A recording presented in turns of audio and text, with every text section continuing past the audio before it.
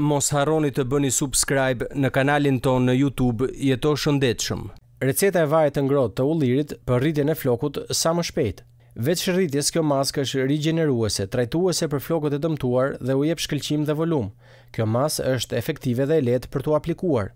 Nuk ju merr shumë në realizimin e maskës dhe realizohet fare lehtësisht në shtëpitë tuaja. Së pari do t'ju duhet një kupë qelqi për mikrovalë dhe gjithashtu vaj ulliri. Vendosni vajin e ullirit në mikrovalë dhe ngroheni për dhjetë sekonda, ose më pak. Sigurohuni që vaji të jetë i vakët dhe jo i nxehtë, sepse në qoftë se është shumë i nxehtë, shkakton rënie të flokëve. Më pas aplikoni vajin e ullirit që nga rrënja deri tek majat e flokëve, duke e hapur me kujdes që ta hapni në të gjithë flokun.